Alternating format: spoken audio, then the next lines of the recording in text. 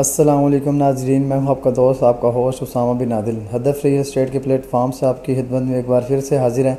आज आपको रिव्यू करवाने जा रहे हैं वन बेड रूम अपार्टमेंट का। आइए चलते हैं आपको इसमें चेक करवाते हैं क्या क्या चीज़ें आपको मिल जाती हैं। सबसे पहले तो इसका गेट चेक करें। गेट की क्वालिटी, लॉक की क्वालिटी चेक करें। काफ़ी अच्छा किस्म की मतलब क्वालिटी इसकी अच्छी। इसके अलावा आपको यहाँ पे, नेक्स्ट चलते हैं, आगे आप देख सकते हैं। ज़बरदस्त किस्म की, यहाँ पे आपको टाइल मार्बल का काम देखने को मिल जाएगा। इसके अलावा यहाँ पे आप चेक करें तो किचन ओपन किचन का ऑप्शन आपको यहाँ पे देखने को मिल जाता है।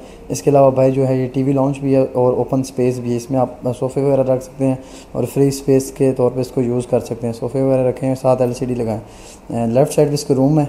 चेक करवाते हैं आपको फ़र्स्ट रूम इसका। चेक करें। रूम काफ़ी अच्छा बना हुआ है, उसकी जो साइज़ है वो भी काफ़ी बेहतरीन है, साथ अटैच वाशरूम है। काफ़ी अच्छी स्पेस है, एक बेड के साथ एक टेबल तो इजीली आ जाएगा। वाशरूम के अंदर भी टाइलें मार्बल का काम हुआ हुआ है, बेहतरीन किस्म का। सही हो गया। अभी चलते हैं इसके सेकंड रूम की तरफ़।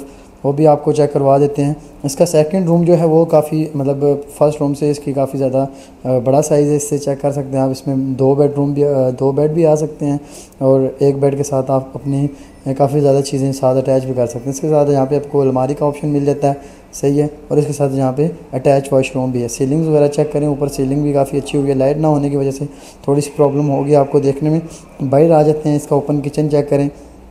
इसकी अलमारी वगैरह यहाँ पे बनी हुई आप अपना सामान वगैरह यहाँ पे रख सकते हैं। तो अगर इसके टोटल स्क्वेयर फुट की बात की जाए तो ये ग्यारह सौ सत्तर स्क्वेयर फुट का टोटल अपार्टमेंट है उस उसकी डिमांड अगर की की बात की जाए डिमांड इसकी एक करोड़ पैंतालीस लाख रुपए किए जा रहे हैं। बाकी जब आप हमसे रब्ता करेंगे स्क्रीन पे नंबर चल रहे होंगे, आप उन पर रब्ता कर सकते हैं। और बाकी ये है कि हम कोशिश करेंगे जो भी डिस्काउंट हो सके वो आपको लेके देंगे। इंशाल्लाह बेहतरीन किस्म की डील बना के देंगे।